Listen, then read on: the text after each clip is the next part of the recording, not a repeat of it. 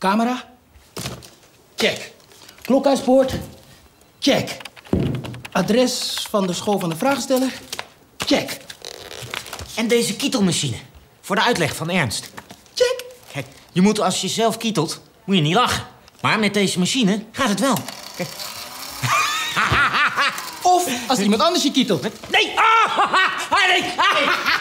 Hou eens op met dat frunnik aan elkaar. Jongens, meisjes, Klokhuis Task Force. Even jullie aandacht voor een briljant idee van mij en het hoofdkantoor. Hebben wij een hoofdkantoor? Er komt een nieuwe challenge om jullie te motiveren een tandje harder te gaan werken. Harder? Ik kies vanaf nu steeds een klokhuismedewerker van de maand. Wie werkt het hardst? Wie heeft de beste ideeën voor het minste geld? En wie zorgt voor de meeste fun op het werk? Fun? Ja, lol. Dat er een beetje gelachen wordt. Bijvoorbeeld als ik een grap maak. En wat krijgt een medewerker van de maand? Een mooie poster met je naam erop, foto erbij. Net als bij de supermarkt. Stom! We zijn geen hamburgertent. Ik doe niet mee. Echt belachelijk plan. En daarnaast deze maand een weekendje Parijs.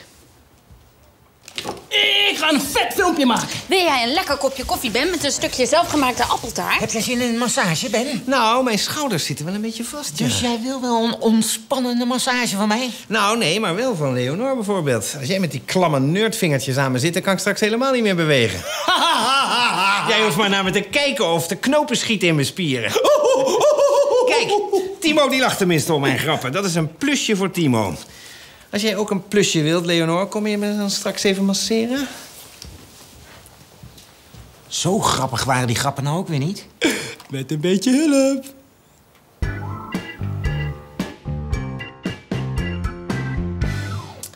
Dat is helemaal niet raar. In Azië doen ze dat allemaal op het werk. Ja, maar jij bent mijn baas. Voor nu ben ik voor jou alleen maar even een lichaam. Bovendien, misschien kan jij zo medewerker van de maand worden.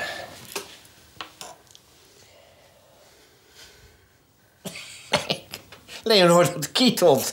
Een beetje steviger. Auw, heks. Ik ontsla je. Oh! Oh, je hebt een vrat daar. Dus? Dan kan je toch omheen masseren? Nou, vratten zijn besmettelijk. Niet eens. Wel eens. Niet eens. Wel eens. Niet eens. Wel eens. Wouter. Wouter.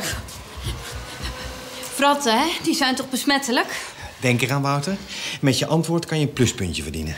Is de massage al afgelopen? Ja, hij heeft een minpuntje op zijn rug.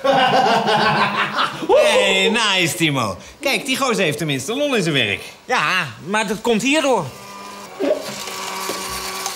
Zit jij nou weer met iets kinderachtigs te spelen in de baas tijd? Hé, hey, Leonor. Kan je hem niet masseren met handschoenen aan? Nee, laat jij eerst die vrat maar van je rug wegvriezen. Wil jij nou medewerker van de maand worden of niet? Ik zie je straks op mijn kantoor. Ik doe het niet. Ik vertik het. Die man die heeft zoveel... rug. Zal ik je helpen? Hoe wil je dat doen? Vriendendienstje. Maar als jij dat weekendje Parijs krijgt, ga ik mee.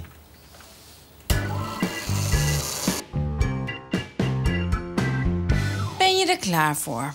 Ja, en nog even voor alle duidelijkheid. Eh, een beetje stevig, maar niet alsof er een vrachtwagen over mijn rug rijdt. Ah, begrepen. Oké. Ik ga beginnen. Oh. Oh ja, je verwendt me, Leonor. Ja, dat doe ik met liefde. Nou, dat mag je nou iedere middag komen doen. Baas, als ik je vrat weghaal, hè, krijg ik dan een pluspuntje? Hoe wil je dat dan doen? Ontspan. Ja. Hé, hey, als jij hier staat, wie is mij dan aan het masseren? Eh, ik niet. Wouter! Professor Frunnik, blijf van mijn rug af! Krijg ik dan misschien een half pluspuntje voor de moeite? Een knal voor je kop kan je krijgen. Als je dat doet, dan ga ik naar de kantine en dan zeg ik tegen iedereen dat jij een mini-bloemkool op je rug hebt. Nee, ik heb de oplossing. We bevriezen je vrat. Ja, zo doet de dokter het ook. Eh, eh, pa- pak jij zijn armen en, en jij zijn benen.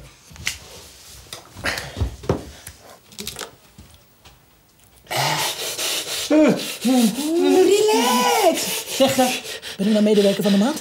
Wat dichter op mijn rug. Stracciatella-ijs. Je bent net een raar nieuw toetje. Wie gaat er nou een wrat bevriezen met stracciatella-ijs? Wat wil je dan? Vanille? Timo!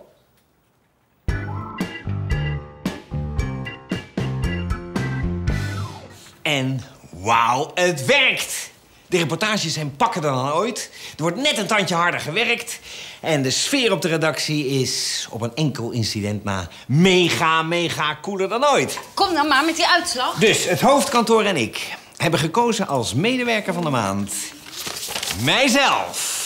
Hé, hey, hoe kan dat nou? Ja, wie heeft jullie tot die prestaties aangezet? Ik. Het was mijn idee. Dit pik ik niet.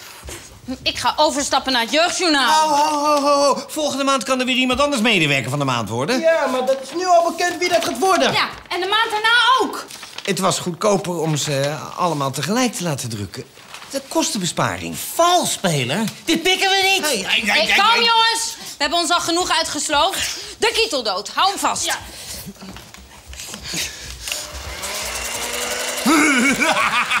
stop. Nee, stop. Denk aan mijn vrot.